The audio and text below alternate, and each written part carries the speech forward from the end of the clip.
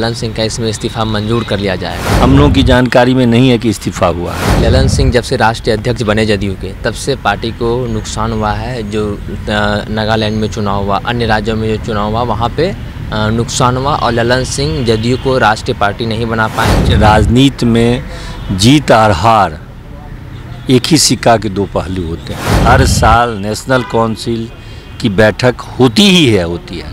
तो इस बार का ड्यू है तो इस बार हो रहा है।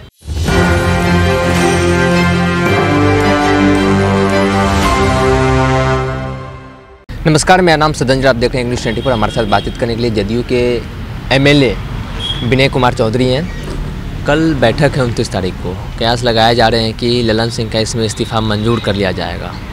इस्तीफा हो गया है क्या? नहीं ऐसे मीडिया में नहीं, आप कहते हैं इस्तीफा मंजूर कर लिया जाएगा। इसका मतलब आप कॉन्फिडेंट में है कि इस्तीफा हो गया। हम लोगों की जानकारी में नहीं है कि इस्तीफा हुआ है। तो हम लोग कैसे कर सकते हैं इस्तीफा मंजूर कर लिया जाएगा? पिछले दो दिनों से मीडिया में सुर्खियों में थे ललन सिंह कि ललन सिंह इस्तीफा दे रहे हैं। और कहा यह जा रहा है कि ललन सिंह से इस्तीफा लिया जाएगा कार्यकारिणी बैठक में। मीडिया में खबर है सूत्र ये भी बता रहा है। आप लोगों को ध- आप लोगों का धन्यवाद है कि आप लोग तीन चार दिन से कि दूसरी खबर आपके पास है ही नहीं सिर्फ़ जनता दल यू की ही खबर है। इसके आप लोगों को धन्यवाद मैं देता हूँ। इसी तरह से हमारे पार्टी को आप कुछ झूठो फूस का भी कुछ का तो बनाए हुए हैं ना।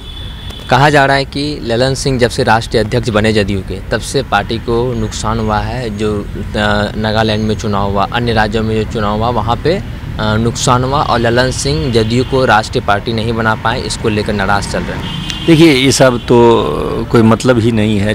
राजनीति में जीत और हार एक ही सिक्का के दो पहलू होते हैं, इसलिए वो कोई मुद्दा नहीं होता। है कार्यकारिणी बैठक और कार्य परिषद की बैठक ऐसे क्या निकलेगी? हमारी पार्टी प्रजातांत्रिक पार्टी है।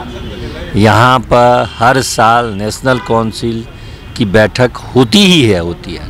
तो इस बार का ड्यू है तो इस बार हो रहा है। जब 2017 में शरद यादव को इस्तीफा वो जब दिए राष्ट्रीय अध्यक्ष के पद से तो नीतीश कुमार खुद संभाले। क्या इस बार अगर ललन सिंह का इस्तीफा होता है तो नीतीश कुमार खुद संभालेंगे अपने हाथ में? पहले तो उनका इस्तीफा होगा सहमति बनेगी तब ना कौन बनेगी नहीं बनेगी। और नीतीश बाबू राष्ट्रीय अध्यक्ष हैं या न हैं कोई अंतर नहीं पड़ता है।